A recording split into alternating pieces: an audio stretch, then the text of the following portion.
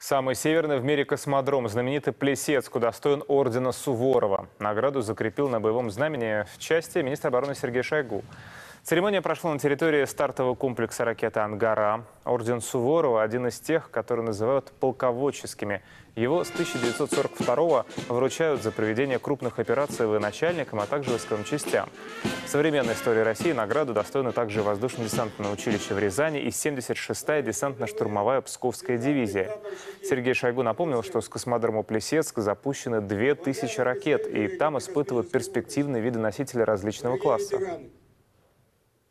размещение воинских частей и подразделений от Архангельской области до Камчатки дает возможность в полном объеме проводить испытания перспективных боевых ракетных комплексов.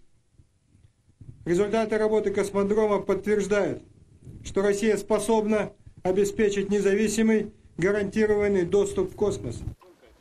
Министр посетил новый командный пункт в Плесецке. Современные системы связи и управления позволяют готовить и осуществлять пуски со всех стартовых площадок.